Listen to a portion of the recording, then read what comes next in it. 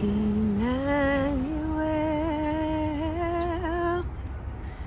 God is with us. You guys, I popped into Home Depot in order to return some dead um, berries, and I discovered this. Look at this raspberry shortcake. This is a dwarf raspberry, and as you can see, it is producing berries. So it's going to look really cute. This is baby cakes. This is the blackberry. And this is a primocane fruiter, so you get two crops of this. So this is fruiting on the tip, and you'll get a crop along the cane. Both of these, I think, are zones six to nine. I'm in zone 10, but um, even stuff that says zone eight, fruits in my zone, because we are a coastal area. Then they have this peach sorbet in a two gallon pot. Doesn't that look cute? See those cute little leaves on it? And here's some bigger leaves. It's very ornamental. I think the blueberry leaves are more ornamental with the little white flowers than the um, blackberry leaves. And these blackberry leaves, I buy, I use blackberry leaves for tea. These don't look, they don't have a very strong tea flavor like the ones I have. Um, let me see about these. The raspberry leaves, still, these are not the strongest leaves for tea. So, but you know, you want a thornless raspberry. I might still have to get mine online. I got these coming in the mail, and I was shocked to see them here. This is, I don't know how many canes. Let me see how many canes do they give you in here. One, two, three, four. I don't know if this is one plant with several suckers, but um, it looks like quite a bit compared to what I'm gonna get in the mail. I got one cane, and all I'll be getting is one cane. It won't be a structure like this. So I think this is one blackberry cane. Yeah, for twenty dollars. The price is twenty-seven dollars, but they have reduced it. It's on sale for nineteen eighty-eight. I think they need to go a little cheaper than that because um, the peach sorbet is looking pretty good. So if you're in zone 10B, I'd say try the peach sorbet or the blackberry or the raspberry. They have some others down here. This is berry bucks. This one's already dead. It must need a lot more water and they're not able to keep it hydrated. I see maybe the root system's still alive, but that's the only living tissue on that. I don't even know. Maybe that's a, I don't think that's a blueberry. Yeah, so this is the only living tissue on that. I don't think anybody's gonna give um, them $26 for that dead plant there. Now I'll show you, they have one here that was in the back. This is the same plant. This is berry bucks. And this one is still alive, but as you can see, it is quickly dying. I have one of these coming, so I now know this one, wow, it needs a lot of water, so I'm gonna have to put this one in the ground because it's it has these little tiny leaves, and this is a boxwood, and the leaves on this are very similar. I guess if it was filled out good, it would look more ornamental like a boxwood and you could shape it, but you lose some fruit that way. But see, the leaves are very ornamental looking and the fruit are small and um, probably best to allow the birds to eat it. How many plants do you get in here? You just get one, but it looks like it's been established for a while. And uh, let me see. I don't, I think this is dying back too. Yeah. Because this is would have had something on it. So I don't know if you would want berry bucks in this area, 10B. unless you're going to be watering it like a couple of times a day. And I'm not good about watering. So I got one coming. I'm going to put it in the ground and hopefully it does well for me. The peach sorbet is much more tolerant of drought. All the peach sorbets I'm seeing are fine. Also, I'm also thinking they can't take the sun. Yeah, because this two are in the sun and they are totally dried out. So I'm definitely going to put, when I get my berry bucks, um, I got just a, a cutting coming, so nothing elaborate like this. But when I get it, mine's going in the shade because um, I'm not going to go through that. And the peach sorbet can take more sun. It's drying a little bit here because this is Home Depot. But Home Depot treats their plants about like I do. So, you know, that's why they put them on sale. okay, so that's why I shop here because Home Depot and I, we abuse plants and only the strong survive.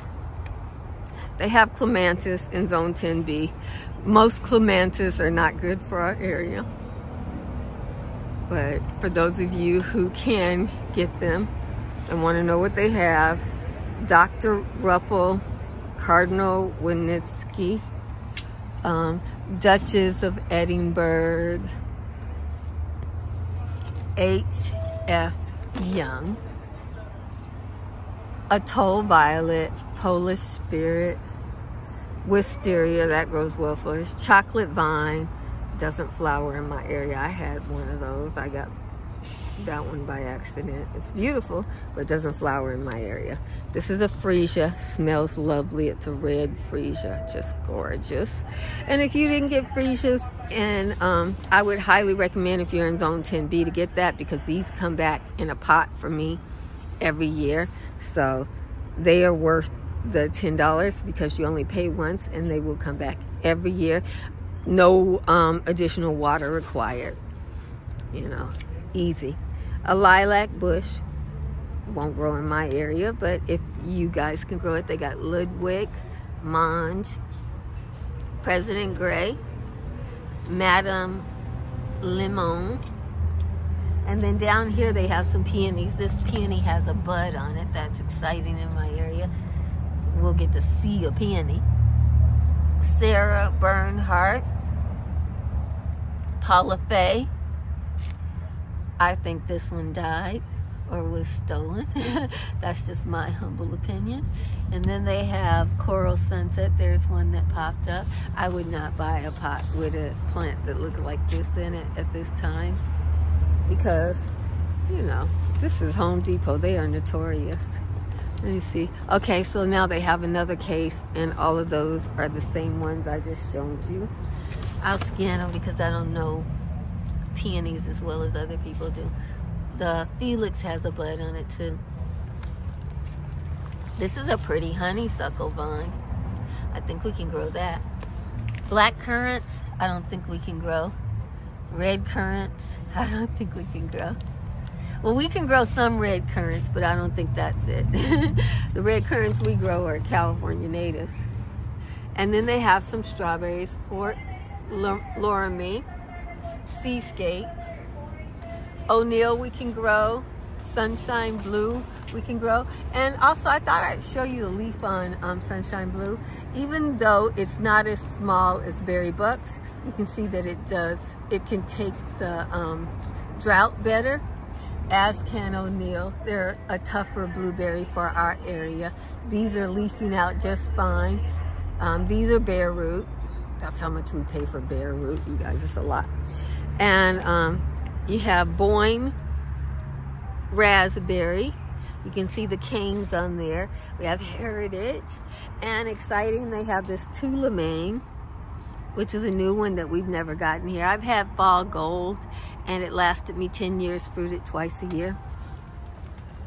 Um, high, very large fruits, sweet flavor um, first year from these canes. So this is one I'm interested in. If I get one, it'll be the Tulameen because it produces large berries from first year canes. That's what we have to look for in zone 10. If it produces on first year canes, that means it needs no chill hours, guys, at least for some of the fruit. So that's what we got to look for. And I think these are more of the same, but you can get a look at them.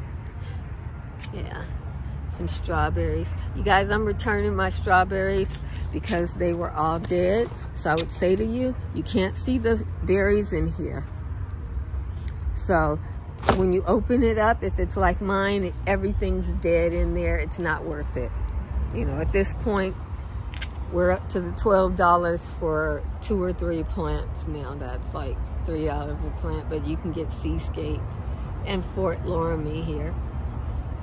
Um, so I think that's everything, guys. But you see how much healthier these blueberries are over here. Oh, they got sharp blue too. I, oh, I want sharp blue and I want O'Neal. What is this? They got a gooseberry here? We can grow gooseberries here, but California native gooseberries, not this one. So I guess I'd have to go someplace else and get my gooseberries. Okay. Oh, they got Biloxi blueberry. I don't even know if I can grow Biloxi blueberry. And honeyberry, berry blue, that's a male. I know I'm not growing anything that says male. Sharp blue, I don't know if I can grow sharp blue or not, but I'd give it a try. I want a jewel. That's the one I want. I like jewel and emerald.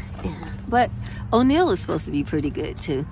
But jewel is the one I want. So maybe I'll just go over to um, Lowe's and see if they have a jewel and an emerald because that's the ones I want. And but I like O'Neal and Sharp Blue. I'm, I might be willing to give those a chance. I really want Jewel because it gets 12 foot tall. okay, so that's everything. Then Bonnie's has strawberries that she won't even tell us the variety on. So I wouldn't buy them because if you don't know the variety, you don't know if it'll grow in this area. But anyway, God bless you. I hope this tour of the fruit, wisteria, and peonies and lilacs coming into the store has helped you to make your decisions if you are in an area where they would grow. If I paid $12 for this, this would be the only lilac I would get unless it has some other buds already on this bush. So just decide if that's worth it for you. Oh, let me just, for those of you who are still here, I found this um, tomato, not this one. Oh, let me go over here. I must have dropped the tomato off at another place, but I gotta show you this dwarf tomato by Burpee. You know, Burpee feeds the world. okay? If you have a small garden, this tomato here called Baby Boomer, it only gets a one and a half foot high for most of us, but it'll give you 300 tomatoes. It gets, um, you don't, it gets, it grows as a bush, a determinate bush. Um, 24 to 33 feet round, so it grows round in a little bush, and you get a whole bunch of tomatoes in a small space. You could throw that in a pot and eat. God bless you.